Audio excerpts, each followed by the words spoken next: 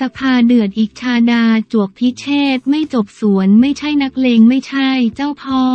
ท้าเจอกันข้างนอกสภาเดือดอีกชาดาจวกพิเชษไม่จบสวนไม่ใช่นักเลงไม่ใช่เจ้าพ่อ ท้าเจอกันข้างนอกทำบรรยากาศในสภาระอุแบบสุดๆ เมื่อเวลา 17นาฬิกา20 นาที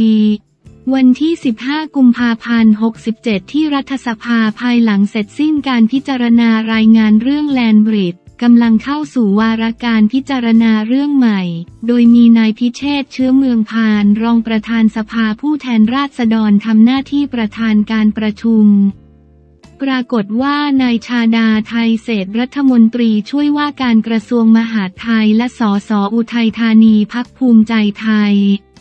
ลุกขึ้นตำหนิการกระทำของนายพิเชษในช่วงเช้าวันที่ 15 กุมภาพันธ์ที่ระบุว่าทำหน้าที่เป็นกลางในการอนุญาตให้นายรังสีมัน โรมสสบัญชีรายชื่อพักก้าวไกลนำรูปนายชาดาที่ถ่ายคู่กับกลุ่มสปปส มาประกอบการอภิปรายในยัตติด่วนเรื่องมาตรการรักความปลอดภัยขบวนเสด็จ นายชาดากล่าวว่าไม่เคยต่อว่านายพิเชษลำเอียงในการทำหน้าที่ สิ่งที่ตนพูดไปตั้งแต่เมื่อวันที่ 14 กุมภาพันธ์ถือว่าจบแล้วแต่นายพิเชษไม่จบ มาพูดต่อในที่ประชุมตอนเช้าวันที่ 15 กุมภาพันธ์การที่นายพิเชษอ้างว่าระเบียบข้อบังคับการประชุมสภา ให้นำภาพของตนมาอภิปรายได้นั้น ได้พิจารณาหลักเกณฑ์เรื่องกฎหมาย PDPA หรือไม่ หรือจะลองให้ตนฟ้องดูคำพูดนายพิเชษแสดงว่าไม่ต้องการจบ อย่างไรก็ตาม นายพิเชษไม่สนใจดำเนินการประชุมต่อทำให้นายชาดาตะโกนสวนมาทันทีว่า ประธานอยากคุยกับผมข้างนอกใช่ไหมครับ ซึ่งนายพิเชษตอบกลับว่า เดี๋ยวผมทำหน้าที่ของผมก่อนผมไม่ใช่นักเลงไม่ใช่เจ้าพ่อ จนมีเสียงฮือดังขึ้นจากสอสอในห้องประชุม จากนั้นนายชาดาตอบโต้กลับว่าประธานพูดเองแล้วใครนักเลงขณะที่นายพิเชษโต้กลับว่า เดี๋ยวผมทำหน้าที่เสร็จแล้วเจอกันข้างนอก ซึ่งนายชาดาตอบกลับว่า ครับ ตอนไหนก็ได้สำหรับผม แต่ประธานพูดเองว่าเจอกันข้างนอก นายชาดายังให้ขอให้นายพิเชษถอนคำพูด นักเลง ซึ่งนายพิเชษยอมถอนคำพูด แต่ยังพูดต่อไปว่า แล้วไปเจอกันข้างนอก ก่อนจะตัดบทเข้าสู่วาระการประชุมต่อไประหว่างนั้นสสรวมไทยสร้างชาติเสนอให้ปิดประชุม เพราะบรรยากาศห้องประชุมไม่ดี แต่สสพักก้าวไกลไม่ยอมขอให้ประชุมต่อ ซึ่งนายพิเชษก็ดำเนินการประชุมต่อไป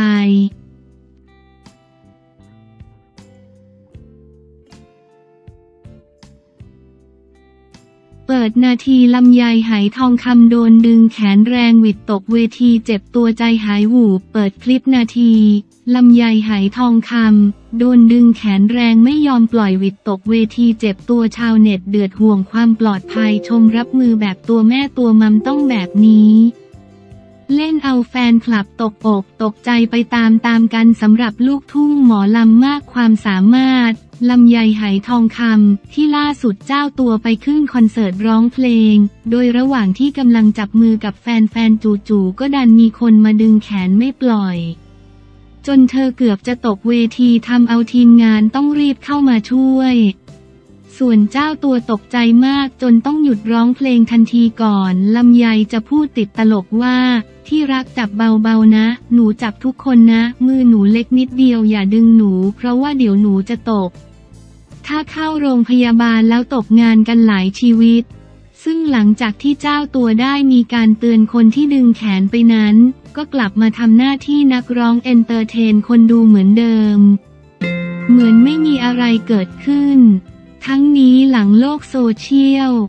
ได้มีการเปิดเผยคลิปออกไปก็กลายเป็นไวรัลเกิดเสียงวิพากษ์วิจารณ์อย่างดูเดือด หลายคนหวั่นเรื่องความปลอดภัยของศิลปิน อีกด้านก็เข้ามาชื่นชมลำไยว่ามีความเป็นมืออาชีพแม้จะเกือบวิดร่วงตกเวทีและอาจจะได้รับบาดเจ็บนั้น แต่เจ้าตัวก็ยังเดอะโชว์มัสโกออนทำการแสดงต่อและยังยิ้มแย้มได้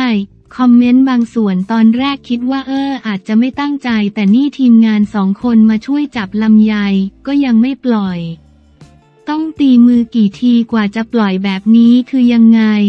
งงกับพวกชอบดึงมือศิลปินคือคิดว่าจะได้ไรกลับไปหรอ ถ้าไม่ใช่ลำไยแล้วไปเจอคนอื่นที่เขาเอาเรื่องจะทำไง งงกับประเภทนี้สุดๆ โห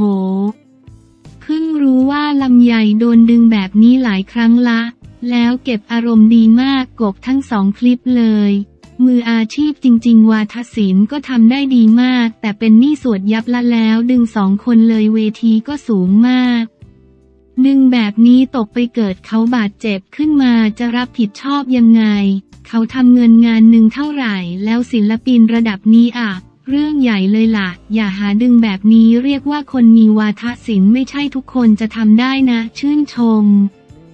แล้วลำไยเป็นคนที่มืออาชีพมากคือชีโมนะดูออกเกือบหลุดด่าแล้วแหละ แต่ยังดึงตัวเองกลับมาได้ แถมใช้คำพูดที่ไม่เสียประโยชน์ต่อฝ่ายไหนเลย ให้เกียรติคนจ้างมาไม่แปลกใจที่คนจ้างงานแทบทุกวัน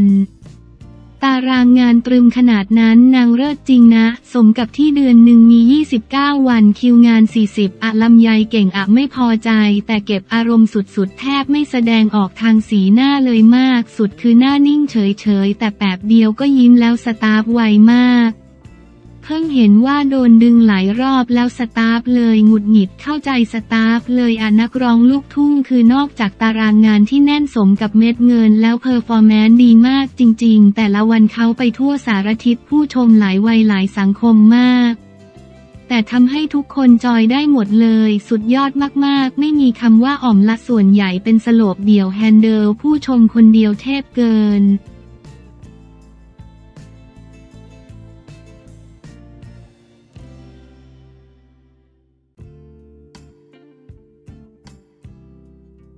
นายกลุยเองสั่งสามหน่วยงานเร่งทำแผนจัดประชุมฟีฟ่าคองเกรส นายกเศรษฐาทวีสินนายกรัฐมนตรีและรัฐมนตรีว่าการกระทรวงการคลัง สั่งการสามหน่วยงานทำแผนปฏิบัติงานและงบประมาณจัดงานฟีฟ่าคองเกรส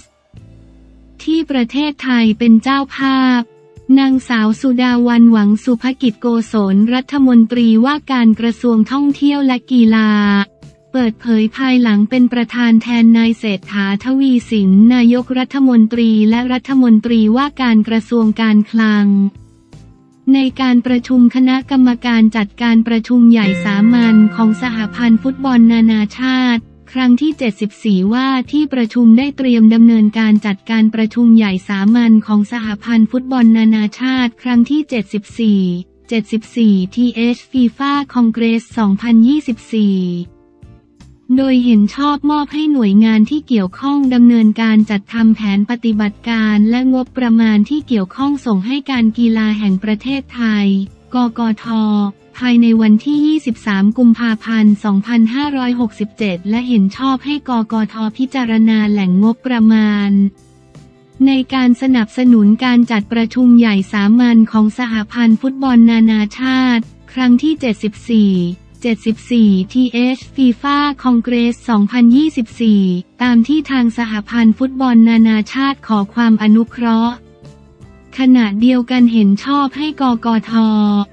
สมาคมกีฬาฟุตบอลแห่งประเทศไทยในพระบรมราชูปถัมภ์และสำนักงานส่งเสริมการจัดประชุมและนิทรรศการทีเซปเป็นหน่วยงานประสานงานหลักดำเนินการร่วมกับหน่วยงานที่เกี่ยวข้อง ประกอบด้วย 1. การอำนวยความสะดวกด้านการศุลกากรหน่วยงานที่เกี่ยวข้อง ได้แก่กรมศุลกากร 2. การอำนวยความสะดวกด้านวีซ่าการอนุญาตและการเข้าราชอาณาจักร และการอำนวยความสะดวกสำหรับบุคคลสำคัญหรือกรณีฉุกเฉิน Emergency หน่วยงานที่เกี่ยวข้องได้แก่ทีเซปกระทรวงการต่างประเทศ สำนักงานตรวจคนเข้าเมือง กรมการกงสุล สมาคมกีฬาฟุตบอล 3 การต้อนรับและการอำนวยความสะดวกณท่าอากาศยานสุวรรณภูมิ สนามบินดอนเมือง รวมถึงเครื่องบินส่วนตัวหน่วยงานที่เกี่ยวข้อง ได้แก่บริษัทท่าอากาศยานไทยจำกัด มหาชน กรมพิธีการทูต สมาคมกีฬาฟุตบอล 4. ด้านการรักษาความปลอดภัยหน่วยงานที่เกี่ยวข้อง ได้แก่สำนักงานตำรวจแห่งชาติ 5. การอำนวยความสะดวกด้านการจราจร หน่วยงานที่เกี่ยวข้องได้แก่กองบัญชาการตำรวจนคร 6. ด้านการแพทย์หน่วยงานที่เกี่ยวข้องได้แก่กระทรวงสาธารณสุข 7. ด้านอาสาสมัครหน่วยงานที่เกี่ยวข้อง ได้แก่สมาคมกีฬาฟุตบอล การท่องเที่ยวแห่งประเทศไทย 8 ด้านพลังงานหน่วยงานที่เกี่ยวข้อง ได้แก่การไฟฟ้านครหลวง 9 ด้านการจัดงานเลี้ยงรับรองการแสดงศิลปวัฒนธรรมและความบันเทิง วันที่ 15-16 พฤษภาคม 2567 และกิจกรรม CSR ในวันที่ 16 พฤษภาคม 2567 หน่วยงานที่เกี่ยวข้องได้แก่การกีฬาแห่งประเทศไทย ทั้งนี้ สหพันธ์ฟุตบอลนานาชาติให้เกียรติประเทศไทยเป็นเจ้าภาพจัดการประชุมใหญ่สามัญของสหพันธ์ฟุตบอลนานาชาติ ครั้งที่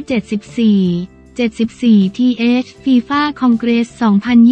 2024 ซึ่งเป็นการจัดขึ้นครั้งแรกในกลุ่มประเทศอาเซียน โดยมีประธานสหพันธ์ฟุตบอลนานาชาติ สมาชิกและผู้แทน รวมถึงนักกีฬาฟุตบอลที่มีชื่อเสียงและผู้เกี่ยวข้องจากประเทศต่างๆ จำนวน 211 ประเทศเข้าร่วมการประชุมและกิจกรรมต่างๆ ระหว่างวันที่ 13-17 พฤษภาคม 2567 ณ ศูนย์การประชุมแห่งชาติสิริกิต และสถานที่ต่างๆ ในกรุงเทพมหานคร การประชุมดังกล่าวนี้เป็นการส่งเสริมภาพลักษณ์ และเป็นการสร้างความเชื่อมั่นและชื่อเสียงให้ประเทศไทยในฐานะเจ้าภาพจัดงานระดับโลก ซึ่งจะสามารถต่อยอดไปสู่การเสนอตัวเป็นเจ้าภาพจัดการแข่งขันฟุตบอลระดับโลกทั้งนี้ยังก่อให้เกิดการกระตุ้นเศรษฐกิจและการสร้างมูลค่าเพิ่มของเศรษฐกิจภายในประเทศอีกด้วย พร้อมกันนี้ มาดามแป้ง นวลพันธ์ล่ำซำนายกสมาคมกีฬาฟุตบอลแห่งประเทศไทย ในพระบรมราชูปถัมภ์พร้อมด้วยสภากรรมการเข้ามอบแจกันดอกไม้แก่นายกรัฐมนตรีเศรษฐาทวีสินเนื่องในวันคล้ายวันเกิดครบ 62 ปีวันที่ 15 กุมภาพันธ์ 2567 โดยมีคุณสุดาวัน หวังสุภกิจโกศลรัฐมนตรีว่าการกระทรวงการท่องเที่ยวและกีฬา ร่วมถ่ายภาพห้องสีเขียวตึกไทยคู่ฟ้าทำเนียบรัฐบาล